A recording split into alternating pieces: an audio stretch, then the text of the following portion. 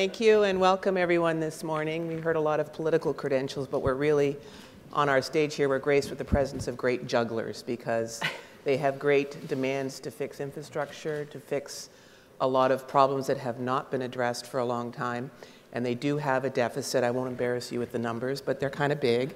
And they've got to I juggle think they this. all know. So we're going to get a little uh, look at how they're going to manage this juggling act.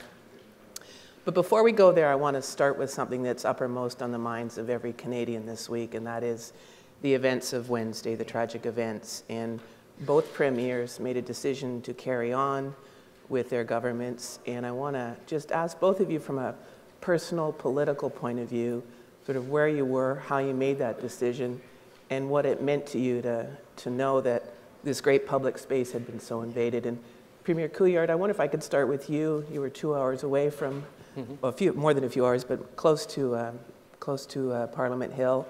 Um, the shooter was from your constituency. Just tell us a little bit about where you were and what went through your mind and the decision that you made to carry on. Well, we, we were in Quebec City, of course, and we heard uh, as early as uh, at the same time that it was happening, and I thought it was tragic events.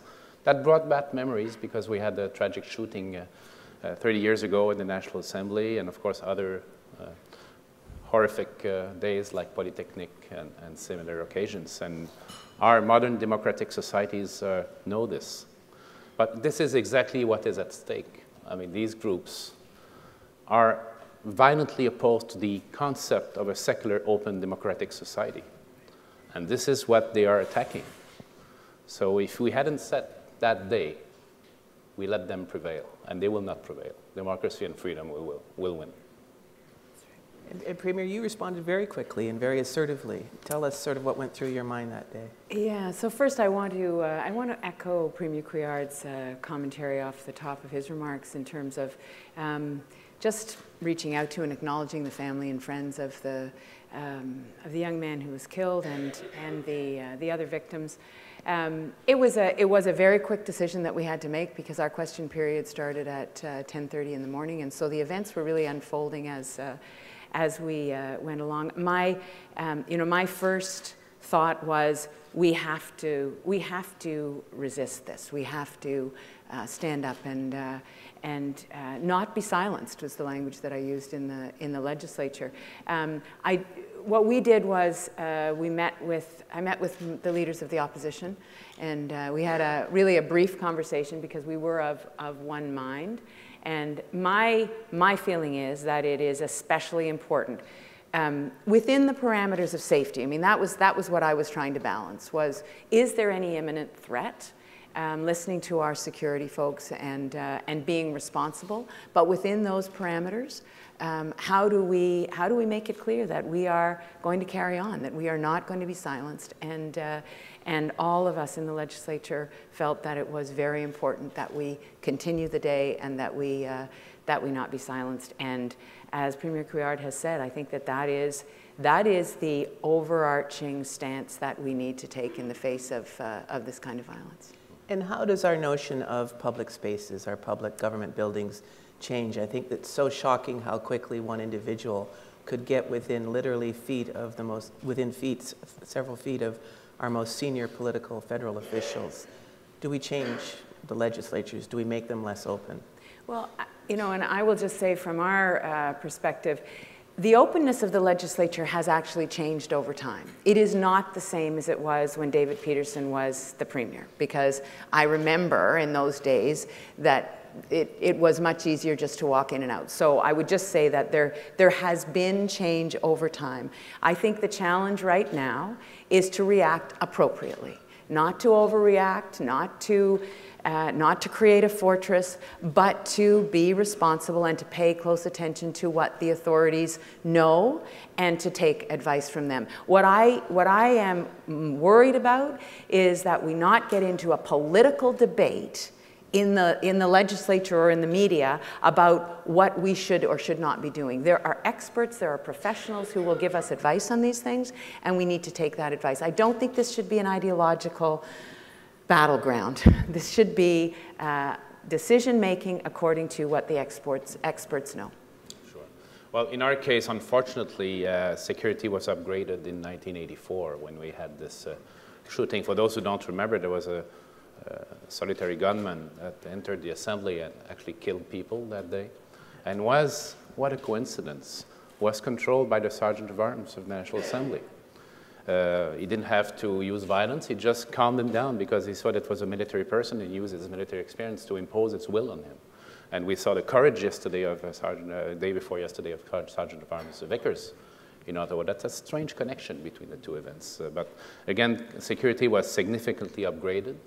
People need to be able to see us.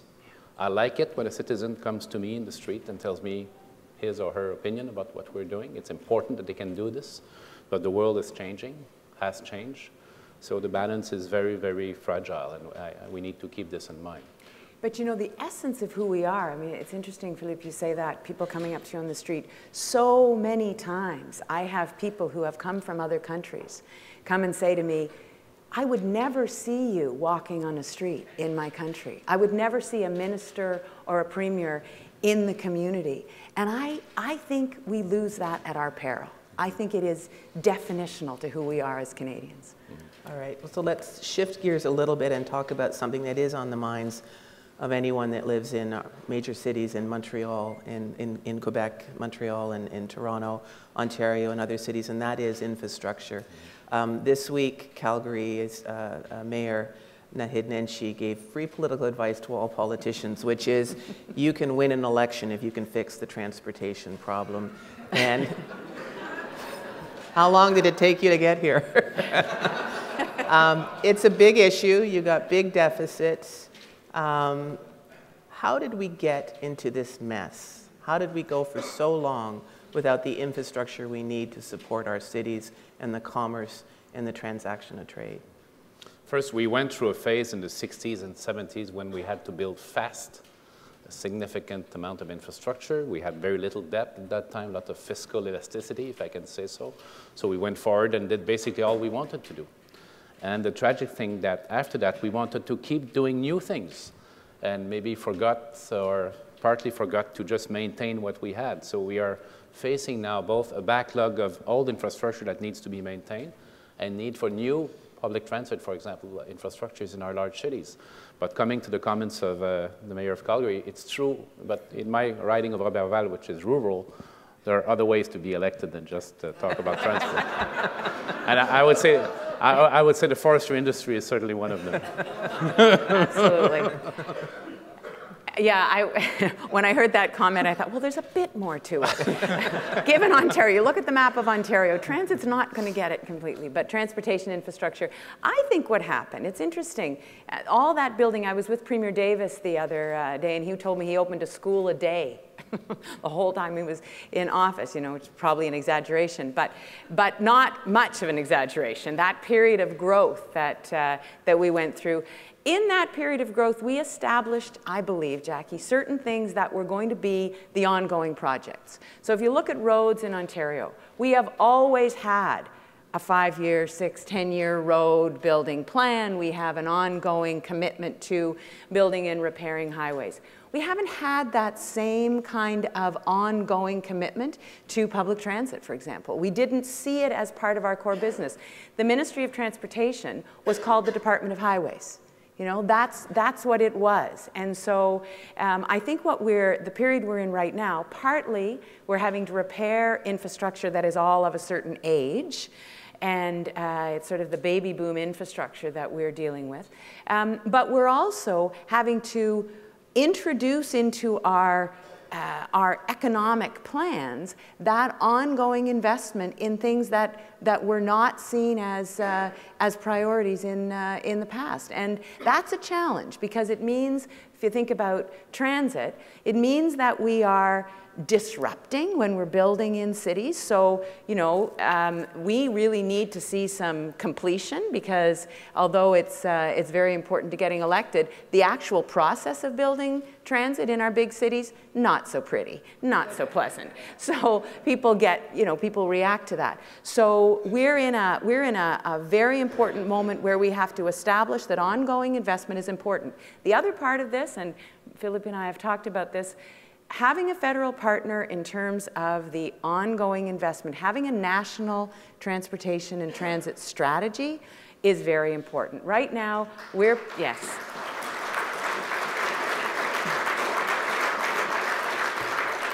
We've committed $130 billion over the next 10 years, and you've committed 90, 90 $90 billion. So um, when you look at that kind of commitment, and then look at the federal commitment of $70 billion over the same time period, you can just see the gap in terms of commitment and adequacy. And so I would suggest that over years we have not had an arrangement with the federal government that acknowledges that having ongoing transportation infrastructure and, and other infrastructure, quite frankly, has to be part of the business of the federal and the provincial and, quite frankly, the municipal governments.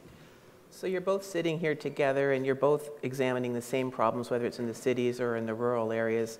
What is what do you think are some of your smartest strategies? Let's, let's share some ideas here of either how you fund, whether you dedicate funds so that it's locked in and you know that it can't be mixed. Give us a couple of your favorite ideas as to how you can really make a difference on this issue. Maybe I, I would try to say that uh, we, look, we have to look at this from a different angle and use what is another potential crisis as an opportunity. Here I'm talking about the climate change issue. Uh, we know that the transport sector is a source of a significant part of the greenhouse gas emissions that we have in this country. So let's use this initiative and this opportunity we have to develop more infrastructures to do it smartly, put more emphasis on public transit, for example. Electrification of transport is also a way to achieve our targets while improving comfort and access for our citizens in cities. And at the end of the day, we will all benefit from it. As far as funding is concerned, this is where the two have to come together the fight against climate change, climate change and economic development. So as we probably know here in this room, Quebec has uh, started the uh, carbon trading system of California. We'll have our first uh, auction in November, and we'll get roughly $3 billion of proceeds out of this between now and 2020. And we've put, we're putting all this in a green fund that is dedicated towards taking initiatives that will add to our strength in the fight against climate change. For example, new SMEs in green technology, but also more emphasis on electrification of transports and public transit. Otherwise, you know, fiscal reality being what it is, it's hard to see where new money is going to come from. Uh, and this is how I think we should join issues. Now, in Ontario, we've experimented with public and private partnerships for Highway 407, which has helped relieve bottlenecks. Is that something that's going to work for the well, province? Well, our, yeah, our alternative financing um, program, so the AFP is the, you know, that is the model that in fact we, uh, we're talking in other jurisdictions about because it, it is allowing us to partner with the private sector to, uh, to have some of that risk borne by the private sector and to actually get the uh, infrastructure built that we need. And so we will will be continuing to look at how the AFP model can, uh, can support us in, uh, in building infrastructure. But the other piece you talked about, you both talked about dedicated revenue. Our green bonds, our, uh, our look right now at our assets so that we can recycle some of those assets, make them work for us and put, uh, put some of that money in, put, put that money into uh, a Trillium Trust so that we have it as a steady stream of income to, to build infrastructure those are things that are very important. The other thing is innovation, and I, um, you know, sometimes when we think about innovation, we, we think narrowly, and uh, I think we have to think broadly. So there's, there's innovation in infrastructure, that infrastructure building that's very important, and I, I know the Minister of Transportation is somewhere, and uh, there he is back there. Um, but you know, the, the innovations that's going on in our construction and our, uh, our transportation sector is very important. So, you know, you drop in a, a bridge in a, a four or five day period that was something that used to take months. That kind of innovation helps us as we, uh, as we make these investments. So all of that, all of that has to be worked on. Do you look to any particular cities or regimes? Um, all over the world, people are experimenting with this issue. In London, they've pretty well cut off um, downtown traffic, or you have, you pay for that privilege yeah. of traveling downtown. Is that something that we need to think about in our provinces. We need, to, we need to look at all of the models that are being used uh, around the world and, and apply them to our particular circumstances. But I think we can't, we can't just look within ourselves. We have to look at where, uh, where infrastructure is being built. How is that happening? Why can one country do it and we, uh, we're not? But you know, remember that in most of those instances, there's a federal partner. There's a, there's a national strategy and a national commitment, and that, uh, that's often the missing, the missing link for us. And also those uh, cities, uh, London, uh, Stockholm, Copenhagen, look at this regionally. Uh, we have unfortunately a tendency to look at that bridge or that highway and never have a broader view of the uh, congestion issue, for example, how to address it jointly in a regional way. So as long as we don't do this, it's going to be hard to have a very good conversation on that because we have now a, an, an environment in which we focus on Champlain Bridge in Montreal. That's the only issue. Well, it's not the only issue about transport in, in, in transportation in Montreal. We have to look at it regionally and look at what others are doing, where they have failed, where they have uh, succeeded, and try to follow their path, but uh, prudently and with citizens. It's, it's important. And I, you know, I think that's why these conversations are important. I had the opportunity to meet with uh, a number of regional mayors from this area yesterday, and I think because of some of the planning changes that we have made, I think that regional consciousness is growing here. It's not easy because there has been so much local autonomy, but it's something that uh, absolutely has to happen, particularly in the GTHA and the Niagara region. All right, let's go to the other side of the ledger, which is liabilities, um, which is if you are going to spend, what are you going to have to cut, in effect, given this, the scale of the deficits today? And Premier Couillard, you came out very strong shortly after you were elected, talking about wage freezes and the burden of the sort of the public sector payroll. Um, I think you said equaling the cost of running the schools in the province. It's yeah, a very our debt, our uh, debt uh, payments yes. are more than what we give our, our grade schools and high schools in Quebec today. $10 billion. So we have to start the year by spending $10 billion less than we earn just to balance the budget because of that load. So that's important. So tell us what some of your key strategies are. It's been a few months now, um, and you've got to focus on how you're going to do that. What are, what are some of your priorities in that? Uh, addressing liabilities, you mean, yes. essentially, uh, yes. the spending side and the yes. long-term spending side. So I think pension, the pension issue is certainly at the forefront of our uh, conversations and reflections. Uh, we have had the opportunity of having a very good report in Quebec called the D'Amours report. I hope some of you can access it that look at this issue, you know, defined contribution, defined benefits uh, schemes, etc. And we basically followed the recommendations and addressed initially the uh, municipal pensions uh, that we have in Quebec that are, some of them, not all of them, but some of them significantly underfunded. And we've passed the days where we could say, you know, around the negotiating table, well, let's ignore this issue for this time and the, the markets will solve it for us. Well, looking at the markets uh, those days, it's hard to believe that this will happen. So we really, really decided to address this head on. And we are legislating on that uh, with some very sound principle. For example, a 50-50 share of past and future uh, deficits. Uh, look at ways to negotiate clauses like indexation and other technical issues in pensions. But also at the forefront, the issue of the taxpayer. Because I've been saying politically many times, you know, it's the municipality and the union. But I say there's a third player there, that nobody talks about is the taxpayer at home receiving the tax bill to fund what those two will decide around the negotiating table. So we, are, we have to think about that. Now, on the issue of defined contribution or defined benefit, it's, it would be very easy to just say with a stroke of a pen, let's get rid of all the defined uh, benefit uh, schemes. But the Moore report and other reports show that you end up transferring those people sometimes on the public payroll as well because of the lack of support in their old age. So there's a more creative way of doing this and try to protect this for the next generation of workers, but again, by making it more, work better, more balanced, and more responsibly, and always with the taxpayer at the center of our attention. It is very interesting to hear a political leaders say that because it's a long-term project to do that. And so many of your predecessors have kicked the can down the road. And in the private sector as well, we've seen that with pensions. Um, and it's a very difficult and emotional issues yeah. uh, for, for, either the taxpayer or yeah. for the employee. Realistically, what do you think you can achieve in your term? Do you, would you like to legislate new terms so there's more shared risk in the pension plans mm-hmm. so that they're more sustainable over the long run? Well, we are legislating as we speak. And this bill, uh, of course, uh, one cannot presume of the uh, works of uh, parliaments, but uh, will likely be adopted. And this, then it will bring balance to municipal pensions. Then we'll have to address uh, provincial pensions, where, which are not, by the way, underfunded, but need to be looked at. Uh, universities, private sector. We've added the possibility for employers like people in this room to have a voluntary uh, pension uh, joint, jointly fund uh, program in, in their businesses. So that's how we look at it again in the long term. One value, you know, we, we try to govern around values. Uh, one value that our party added a few years ago under the impulsion of our youth wing is to add the value of equity between generations. And we, when we make decisions, we try to bring this in the reflection. How is this going to affect our children? Uh, and the, the pension issue is obviously one of them. So the interesting thing about the pension issue, and we're all taxpayers in this room, I think the debate today is I'm a taxpayer. I'm paying for public sector pensions that I'll never have because 60% of Canadians don't have pensions.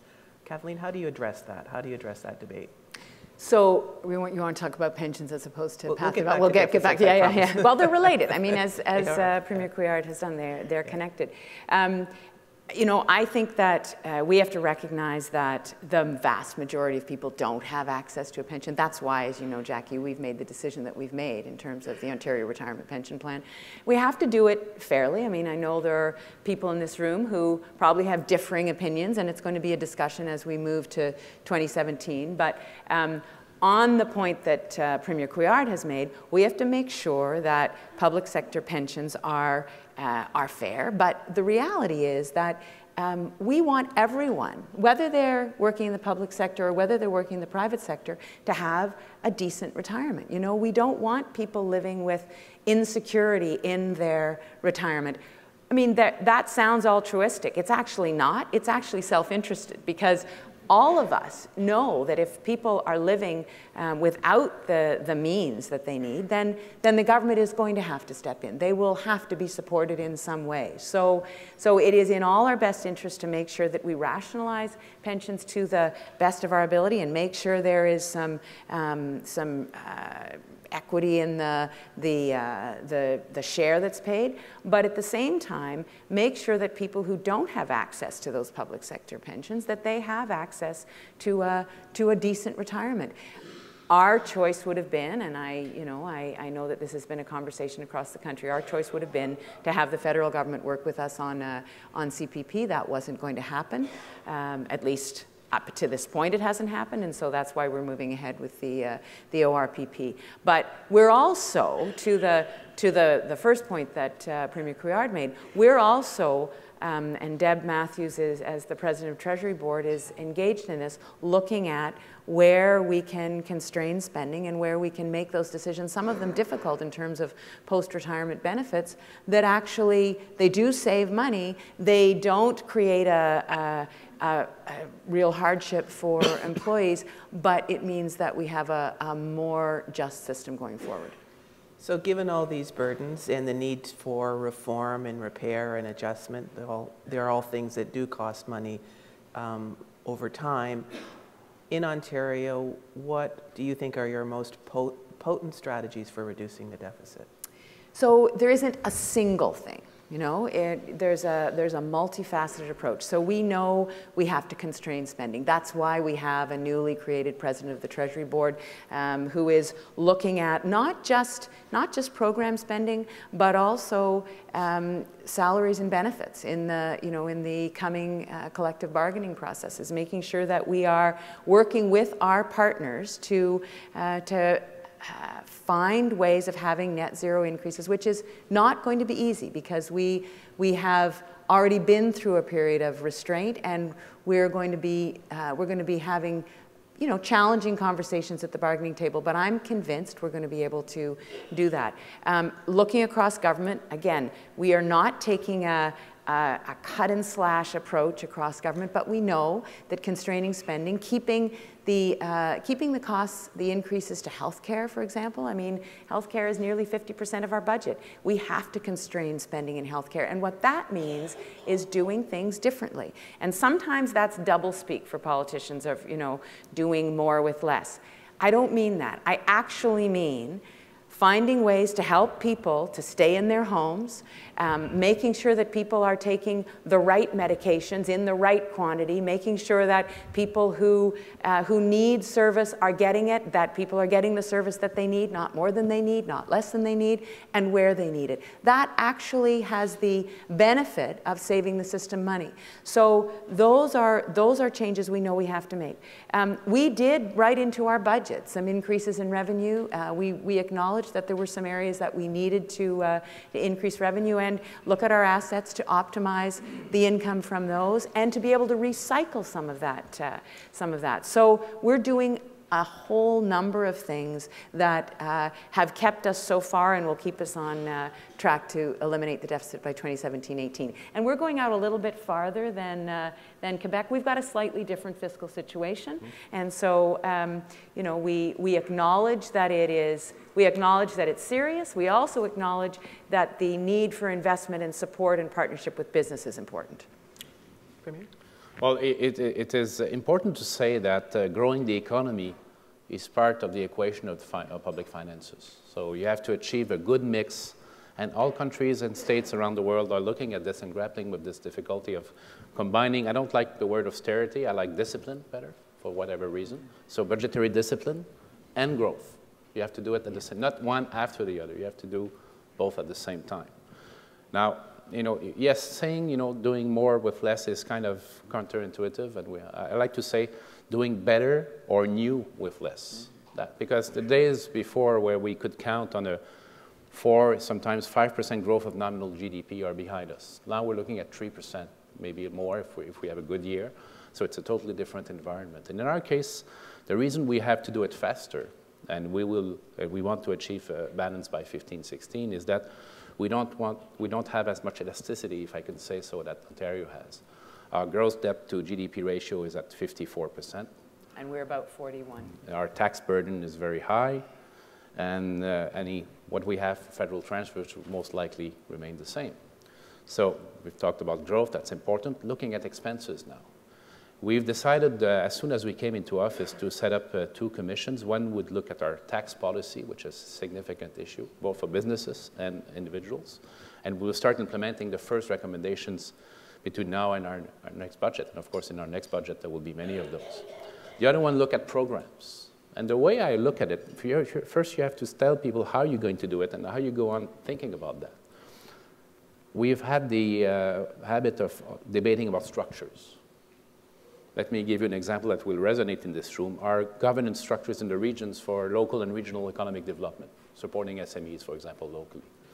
Everybody talks about this or that organization that we've put together in the recent years. So we've added layers of bureaucratic complexity, forgetting about the mission. The mission is what? To give the entrepreneur somebody to talk to who's going to make his or her life better and easier. So as soon as we find out that we don't need that much structures, then we can remove them, and we are removing them. So we'll do the same in healthcare, in education, in regional economic development. First, defining the mission, kind of a zero budget type of approach. What do we need to do this? Oh my God, we have three times more than what we would actually need to do this. So let's get rid of the extra two thirds. So that's the way we do it. And I would end by quoting three numbers uh, that I've been uh, repeating during and after the campaign that reflect, reflect Quebec's economic and financial story. 20, 23, 26. Well, of course, we are 23% of Canada's population, but we only generate 20% of the wealth generated, generated in this country, which is not sufficient compared to our demographic weight. But our provincial expenses are roughly 26% of Canada's provincial expenses. So you see that the three numbers don't work together. So we have to bring that, bring that closer to the middle, not necessarily at the middle, because we do recognize that Quebec has certain you know, missions and responsibilities that, for example, in the areas of culture, the areas of international representation, we want to keep. But this being said, we have to bring this back to balance there. Finally, I will say that the way we're going to approach the, the budget issue is probably 85% at least on the expense side. Easy to increase taxes, uh, you know, uh, you can do again with a stroke of a pen, but people want to see us as they tell us and we were talking about citizens coming in the street to, talk to me. Well, please clean up your own house before you come and pick more money in my pockets. That's what I've been hearing. That's what I'm going to do. So I'm going to show them that the vast majority of the work that will have been done will have been done on the government side, trying to protect services, particularly for vulnerable people in our society, but going after structures. And we started with healthcare. We're getting rid of the regional governance layer, layer totally. And the ministry and local institutions, that's it. Same with schools, same with economic development. So both Quebec and Ontario are huge owners of crown corporations and businesses. You know, you look at Ontario Hydro, you look at uh, uh, Quebec Hydro. Have you ever thought of selling Ontario Hydro to Quebec Hydro? They do a much better job running the for, business. For a good price, we'll take it. I know Ed Clark. Ed Clark spoke to uh, the room yesterday, and uh, so I think people here know that we're very serious about making sure that those assets are working for the people of the province. And, uh, you know, he's actually talking about um, some sale of, uh, of part of uh, Hydro One and the opportunity that that could provide.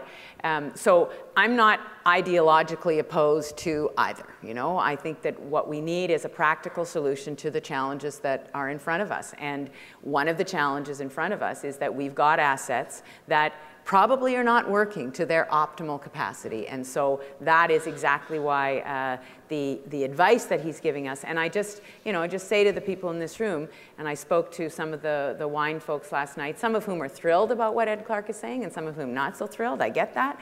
Um, but, you know, we need to find a way to make practical to take practical steps. And uh, we will do that. We will do that because i believe there are solutions. I believe there are ways of of investing in the new assets that we need. The Ontario government is always going to own assets.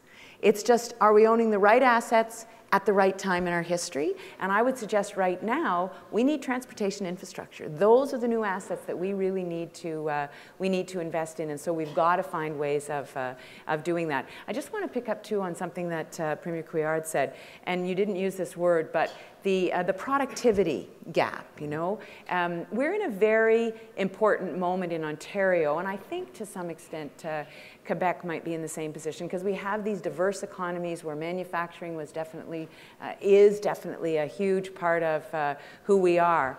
But we have to work with business to make sure that we are as productive as we can be.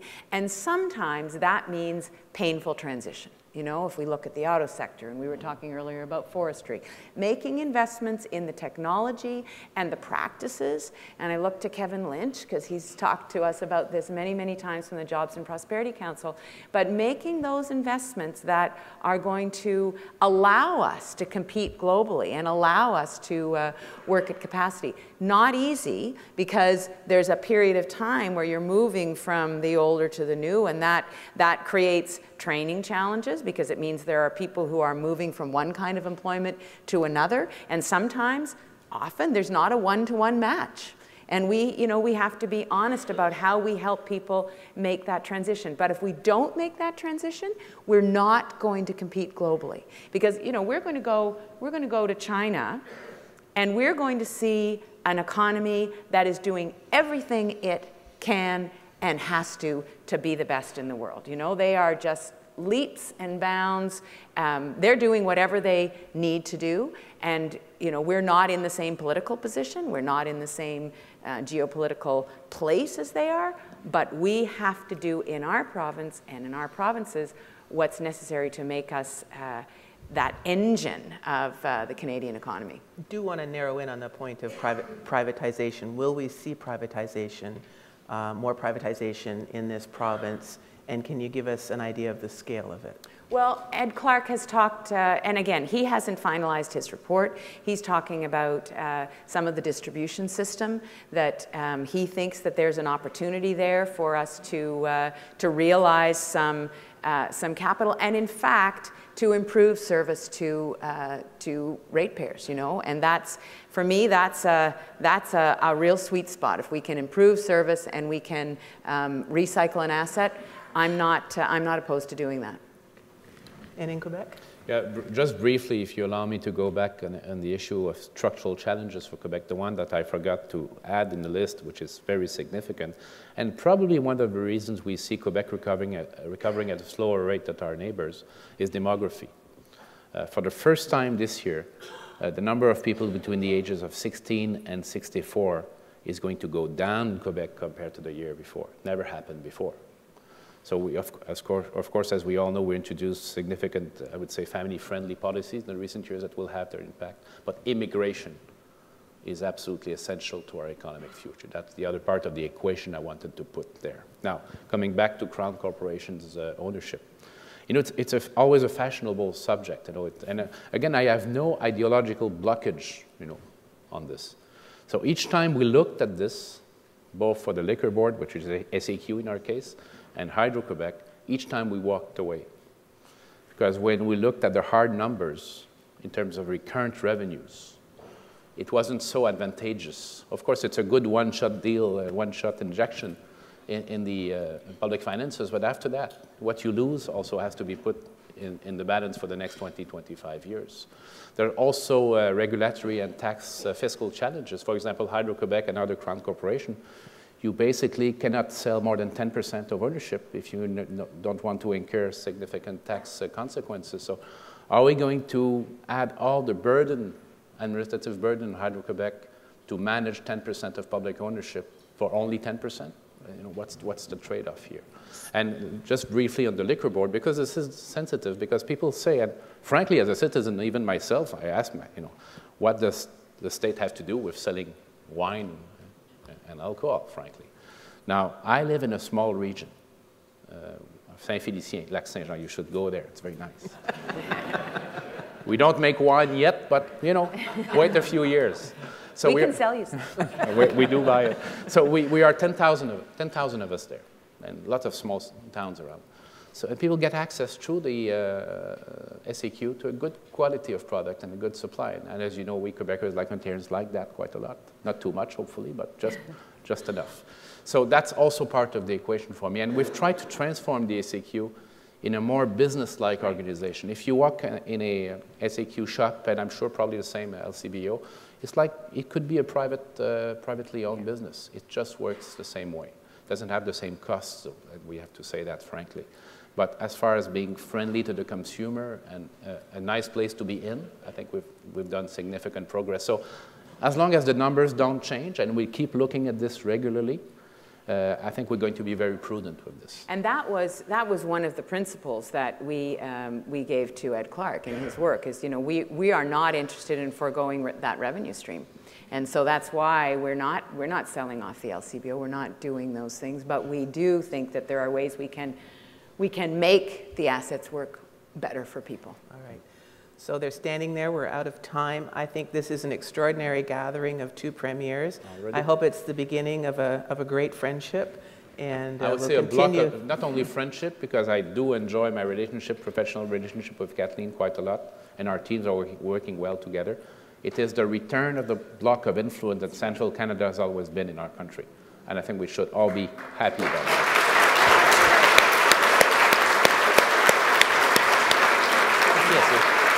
Thank you. Thanks, Thank you so much.